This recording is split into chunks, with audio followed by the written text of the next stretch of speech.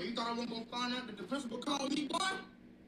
You might as well get ready to have the belt dipped in hot water right now. And whatever you got on, take it right off. I don't want to hear no crime because I didn't. Okay, mama. Okay. Okay.